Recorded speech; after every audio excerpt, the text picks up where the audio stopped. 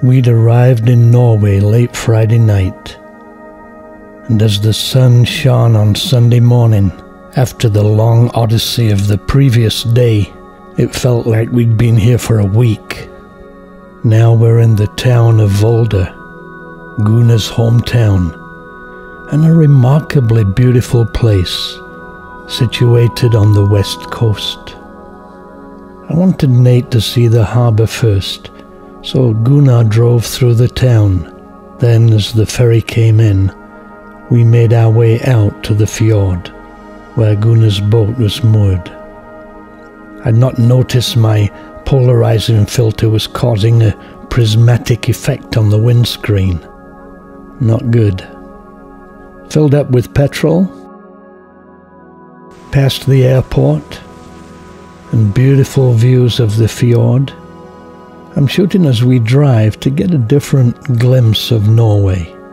When we arrive at the marina, I was really looking forward to the trip. I love boats, and the opportunity to cruise through Storfjorden on a warm sunny day, camera in hand, is special.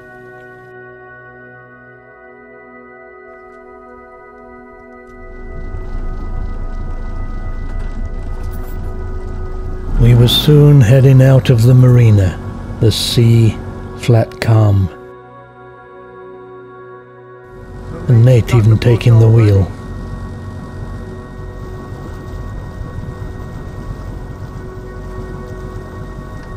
And uh, we're just leaving the harbour and we're looking forward to a really nice day.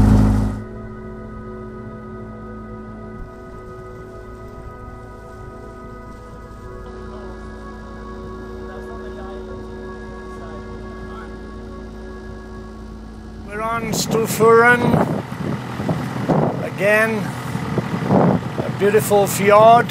My favorite weather is beautiful sunshine, clear, no pollution, and not too hot. And here there's a very nice cool breeze blowing. You can put them in the message thing. See, this is what I had to put up with. Yeah, that's The fjord is generally very deep. If I'm in the Channel Islands, we throw the lobster pots onto the seabed 30 feet down. In Norway, the seabed may be over 3,000 feet down. I went fishing here with Gunnar, and our lines went down 200 feet.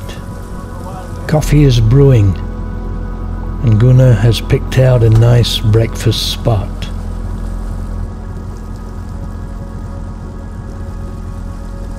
The scenery is perfect, relaxing, enjoyable, and his knowledge of the area means he's bringing us to a quiet, sheltered bay in the middle of nature. And after mooring up, we have breakfast in a charming location, the Gulas. a great thing. treat. Uncle Gunnar is getting everything moving. This is where we are, enjoying it.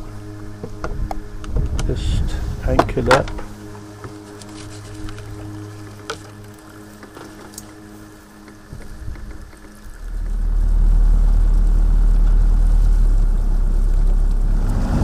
Well, that was indeed a treat. Having breakfast actually. It was quite a late breakfast. But having breakfast there was just very, very nice. The day before had been a long, tiring day, seeing some of the most famous places in Norway. A lot of driving and walking. So to sit on the boat and relax while taking in this unique scenery was just what was needed. As we cruise through this ancient fjord, I imagine days like this to Norwegians are no doubt fleeting. I well understand the words of Ibsen. Too soon the snowstorm's cloak enfolds, but not today. For now nature's smile is warm, its mood uplifting. We've all enjoyed a wonderful interlude. But all too soon, it's over.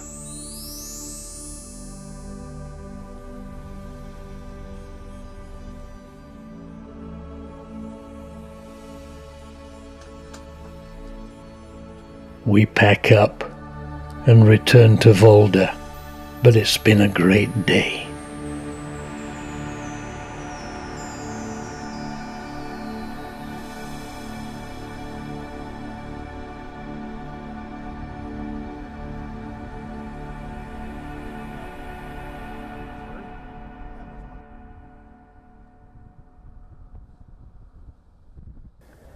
We then saw Gunnar's daughter Borgil and her husband Christian's new home being built, and the great views they'll have when it's finished.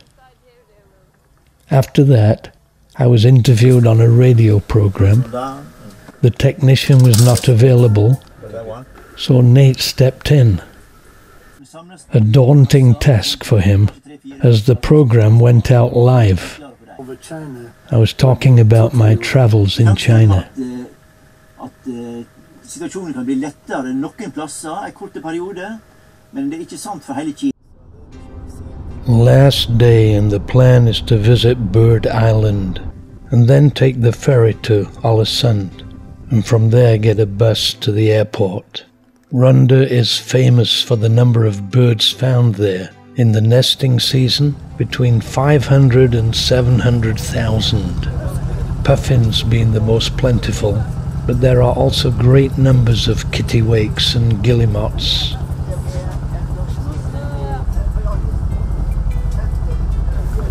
Yeah, we got the perfect weather for a, uh, a jaunt along the uh, coast. There's an eagle over there. and some white eagles.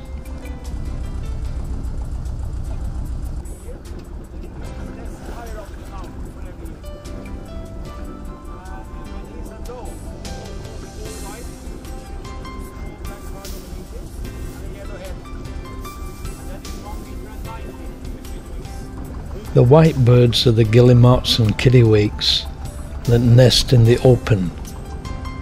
The puffins dig burrows to escape predators.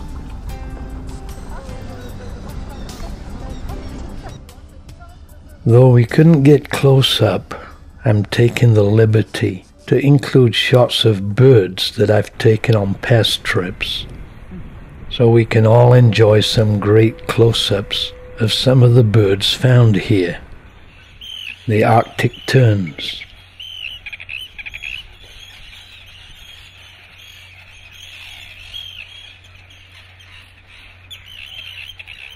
The puffins, always alert. Sand eels, their favorite food. This one has about ten in his mouth.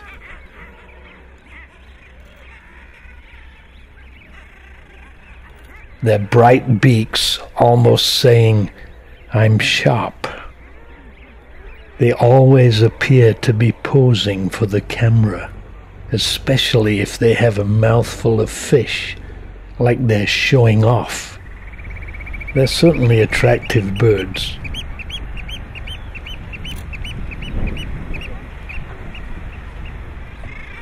The guillemots, also partial to sand eels, feeding their young. It's nesting season, so it's all a hive of activity. The shag, a relative of the cormorant, watching over her chick.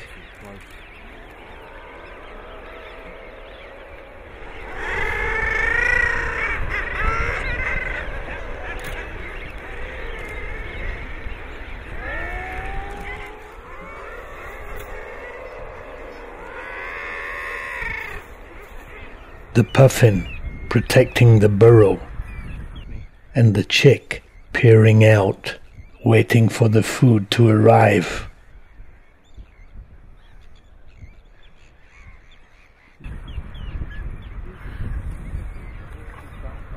And here it comes, freshly caught.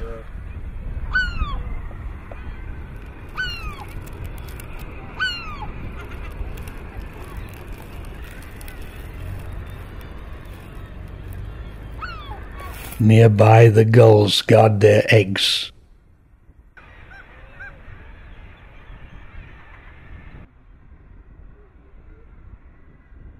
And hidden in a crag, the eider duck is sitting on the nest.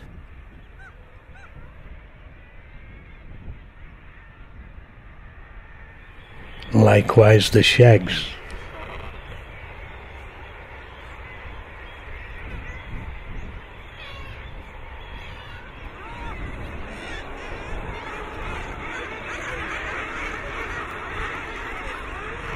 And Gunnar told us the story of the famous Runde treasure trove, a ship from the Netherlands, the Akerendam, was shipwrecked here in January 1725. It was loaded with gold and silver coins to be used for the trade of spices in the Far East. The wreck was discovered in 1972 along with 1,100 pounds of gold and silver coins worth millions of dollars. In total, about 57,000 coins were found. By the time we got back, the rain had stopped, but it was a great trip.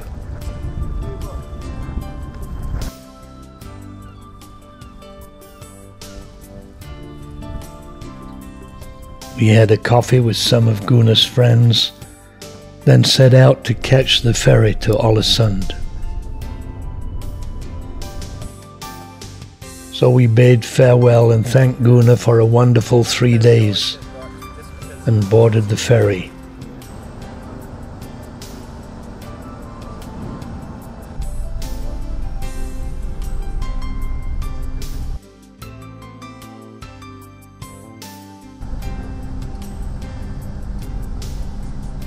20 minutes later, we arrived in this picturesque town, designed in the Art Nouveau style, with bronze statues and ornately decorated buildings. The harbour is quite a sight, with pastel painted buildings and many sailing boats.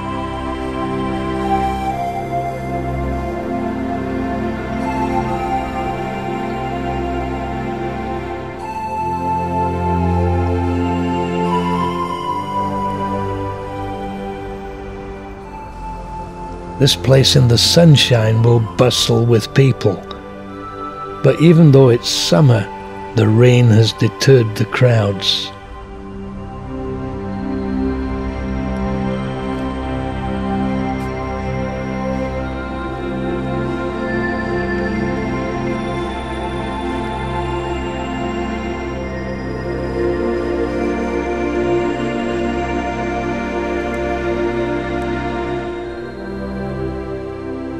We get our last shots of a memorable three days and jump on the airport bus.